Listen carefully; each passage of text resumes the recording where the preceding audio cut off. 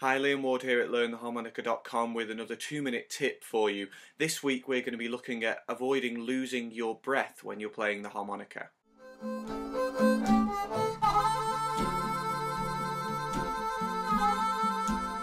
So, keeping your breath when you're playing the harmonica is all about breath control, which means not letting too much air out and not letting too much air in when you're playing.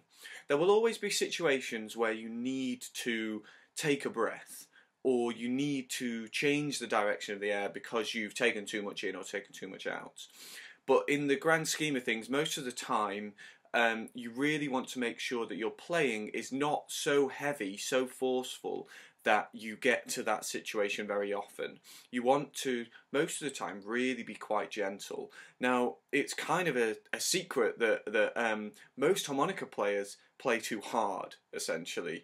Um, and it's a problem we all have, and I have it sometimes, um, and it's especially difficult for beginners. So if you're just starting with the instrument, you're probably very likely to be blowing too hard and drawing too hard. Even the word blow itself is, is misleading, because to blow suggests something like now when you're playing the harmonica it's nowhere near as forceful as that. Um, if I were to do the the action without the harmonica um, you basically wouldn't hear it. It's more like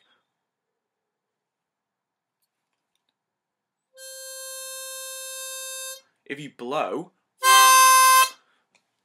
I mean, you can see it, the expression in the face, but you can hear it on the instrument as well. It sounds strained. It's, it's not what you're looking for. So it really is supposed to be nice and gentle when you're playing these notes. Um, if you're competing with other instruments, um, then that's really going to affect how hard you're going to try to play. Sometimes we all play too hard on the instrument, try and force the instrument too much. It's not good for the instrument, it's not good for your sound, and it also means you'll run out of breath um, even when you're playing faster as well, because people tend to speed, uh, when they speed up, they tend to play harder.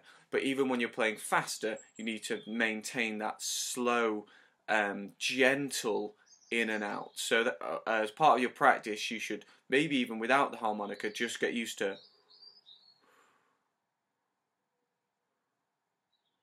really, really gentle because that's what you want to be going for in the bulk of your playing. I hope this two minute tip has been helpful. Please uh, like and comment with any questions or any uh, suggestions for future two minute tips. See you again soon. Cheers.